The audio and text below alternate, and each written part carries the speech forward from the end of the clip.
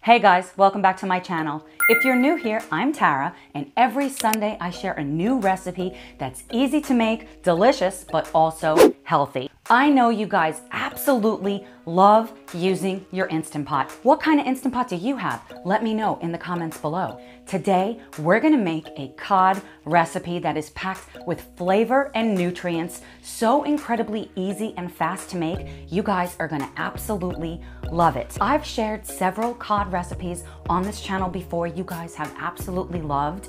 I will link them in the description box below in case you missed them and you'd like to check them out after this video. If you love easy Instant Pot recipes, smash that thumbs up button and let's grab our Instant Pot and head straight to the kitchen.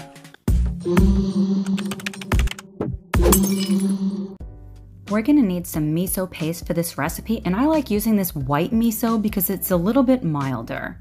But you use whatever kind that you have it's really gonna ramp up the flavor of this sauce and it's so delicious. Then we're gonna add some orange juice. This is just bottled orange juice. You can use fresh squeezed if you have it.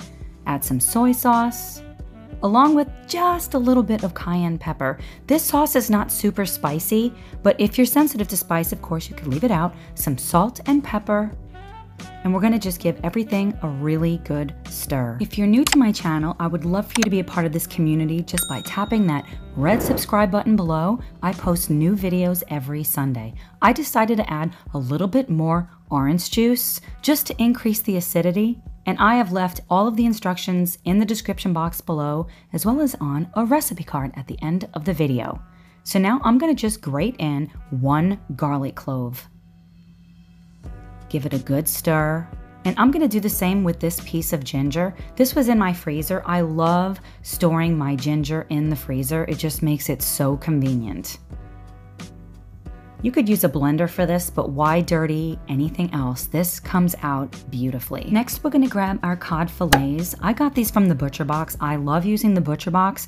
I have a link in the description box below for you to save money if you wanna try it for yourself. These are defrosted, and now you're gonna see me putting them inside of these stainless steel containers that work in the Instant Pot and I'm gonna apply some sauce. A key part of having everything in your Instant Pot cook perfectly is to use similar thickness fish or chicken or whatever else you're cooking if you're putting it inside of the same container. So I realized that both of these pieces of cod were very different in thickness. So I came up with a brilliant plan to cook them at the same time inside of the Instant Pot and not have to worry about one being undercooked and one being overcooked. You simply do that by placing the thinner piece on a double layer of aluminum foil and the thicker piece on just one layer. The thicker the aluminum foil, the less it will cook. And of course, I want to use all of the sauce that I had put inside of this container. This recipe is so simple and so quick to make, and it actually meal preps really well. I brought this to work and it was perfect, heated up inside of the microwave. So then we're gonna fold our packets. It's important to fold them tightly so that no air can escape. And I'm doing this for both of the packets.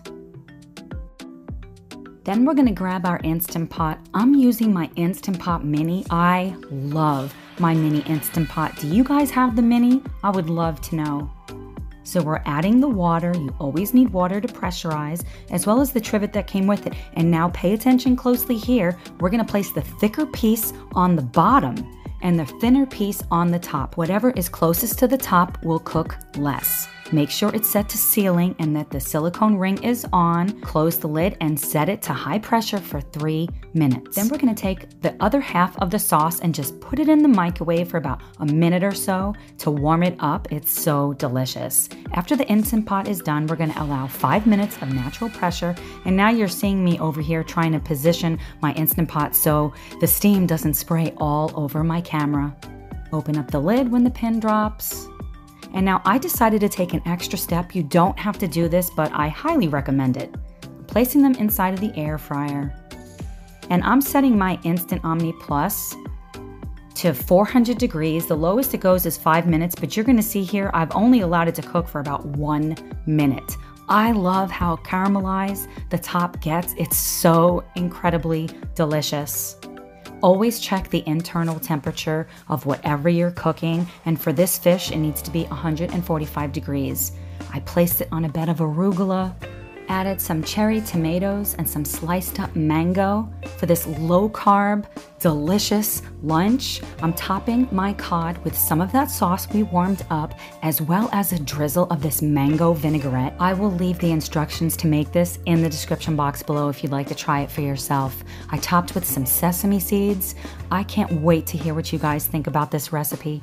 Question of the day What Instant Pot recipe would you love to see recreated here on this channel in a future episode? Let me know in the comments below.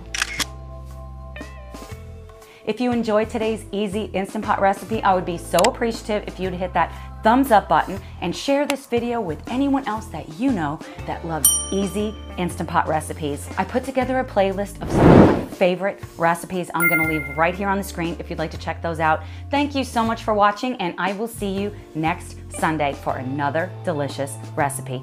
Bye guys.